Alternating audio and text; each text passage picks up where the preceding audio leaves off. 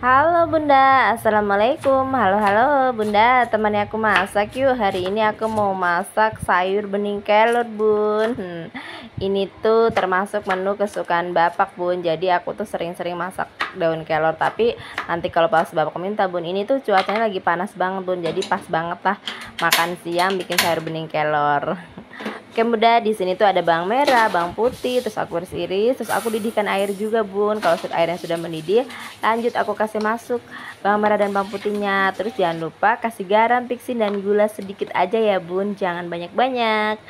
Setelah itu bun kita aduk-aduk baru kita tes rasa bun Udah pas atau belum Tara Alhamdulillah rasanya udah pas bun Jadi aku langsung tuangin aja deh itu sayur kelornya bun daun kelornya daun seribu sejuta banyak manfaat lah pokoknya bun di sini tuh banyak sekali dia itu manfaatnya bun Nah, setelah aku tuangin, lalu aku aduk-aduk. Oh ya, Bun. Kalau masak daun kelor untuk di bening itu yang muda-muda ya, Bun. Nah, kalau untuk di santan itu yang agak tua sedikit gitu. Itu katanya orang Kaili sih, Bun. Aku di, hanya dikasih tahu juga sih. Karena ini tuh makanan khas orang Kaili, Bun. Tapi aku sering bangetin masak walaupun aku orang Jawa. Karena apa? Karena manfaatnya tuh banyak sekali bun. Apalagi pas-pas buat bapak yang lagi sakit kan. Jadi aku masakkan sayur bening kelor deh. Oke bunda. Sayur beningku udah mateng.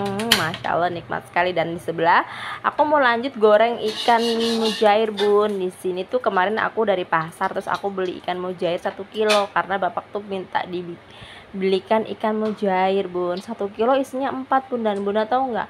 Aku kaget karena satu kilo itu isinya cuma empat biji bun. Empat ekor bun. Baru empat ekor tuh kecil-kecil juga sih bun. Nggak terlalu gede-gede kayak gitu. Cuman tiga tiga ekor aja yang agak gede. Terus yang satu ekornya tuh kecil-kecil.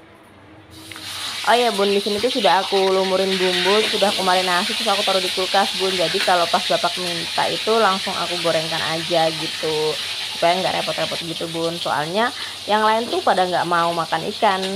Hanya bapak yang mau makan ikan bun. Apalagi saya saya nggak pernah bun. Jarang-jarang lah gitu.